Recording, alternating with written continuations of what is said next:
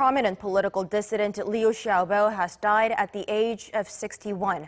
The Nobel Peace Prize winner was jailed in his homeland for his fight for democracy and human rights and had recently battled liver cancer. And Beijing is facing widespread criticism, especially from Western nations, over the way he was treated before and after his release on medical parole last month. Ro Aram with more. Liu Xiaobo is the first Nobel Peace Prize winner to die under guard since the passing of German pacifist Carl von Ossietzky in 1938. The Nobel Committee said the Chinese government bore a heavy responsibility for Liu's premature death.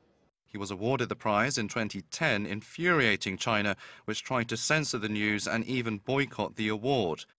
Liu supporters and close friends are accusing Beijing for what they call gross negligence and political murder. Western nations expressed their condolences while calling on China to release his wife, Liu Xia, from house arrest and let her leave the country. Local authorities said she was by her husband's side during the last days of his life. The Chinese government refused Liu's dying wish to get cancer treatment abroad despite international pressure, and this also brought widespread condemnation from overseas. But in a statement on Friday, Beijing's foreign ministry hit back by saying its government made, quote, all-out efforts to treat him out of humanity and in accordance with the law.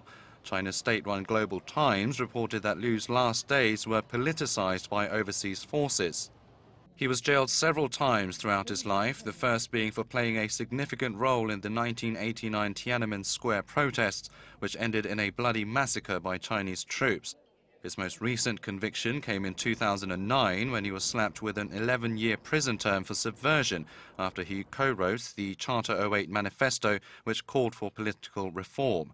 Liu Xiaobo will be remembered by many across the globe as one of China's most influential democracy activists and intellectuals. Ro Aram, Arirang News.